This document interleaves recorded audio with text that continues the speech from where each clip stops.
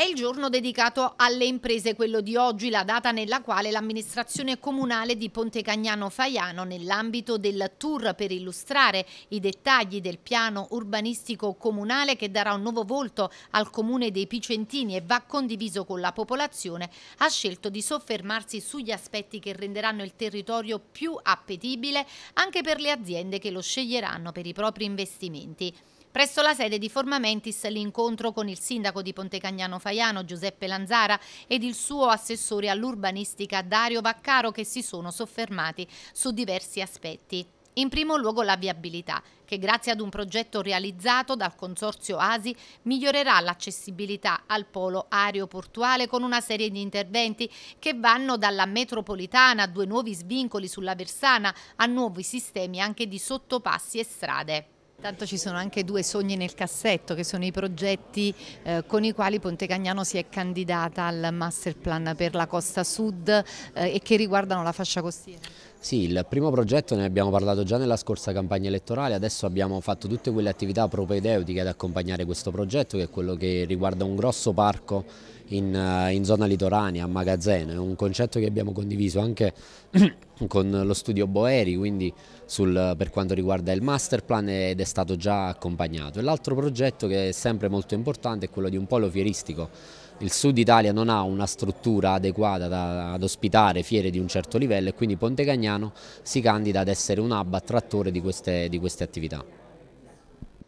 Nell'ambito dell'incontro di questa mattina il sindaco Lanzara ha colto l'occasione anche per presentare una manifestazione di interesse destinata alle attività produttive. L'obiettivo è quello di raccogliere, partendo dal basso, dalle esigenze vere, in questo caso degli imprenditori, delle attività commerciali, di tutto il mondo del turismo, ricettivo, sportivo, del terzo settore, eh, di raccogliere quelle che sono le reali esigenze per eh, realizzare, quindi arrivare a una perimetrazione delle nuove aree eh, industriali, delle aree produttive nel nuovo piano urbanistico comunale, cioè la voglia di raccogliere eh, le, le, esigenze e di disegnare poi una città che sia eh, equilibrata e che possa tenere dentro anche l'interesse eh, di importanti investimenti perché con l'aeroporto, con eh, la riqualificazione del litorale, del masterplan, eh, ci saranno ovviamente ci sarà uno sviluppo della città incredibile con un indotto enorme e quindi noi dobbiamo essere pronti e preparati anche con il nuovo strumento urbanistico a raccogliere tutto l'indotto che si potrà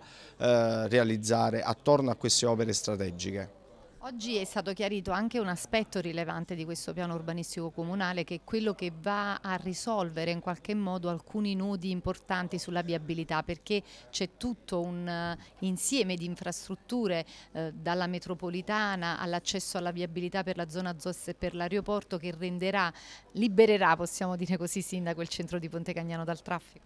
E quello è l'altro tema vero, il problema atavico di Ponte Cagnano Feano, il traffico nel centro urbano. Noi lo, lo, stiamo pian piano risolvendo con una serie di interventi di dettaglio, una serie di strade che abbiamo già aperto, di rotatori importanti, però fondamentalmente quello che abbiamo presentato oggi sono finanziamenti di 22 milioni di euro appunto quindi opere già appaltate che partiranno, con lavori che partiranno entro quest'anno e eh, parliamo ovviamente di eh, rafforzare tutta la zona a confine con Salerno, eh, quindi rafforzare la viabilità su scavate case rosse che eh, possa limitare quello che è l'accesso sulla nazionale. Eh, ci sono diversi interventi, così come la promenade archeologique, quindi questa strada parallela che parte da, eh, dal centro di Ponte Cagnano e taglia l'intera nazionale fino ad arrivare al parco archeologico e allo stadio quindi abbiamo eh, già in testa e eh, ripeto con progetti approvati e finanziati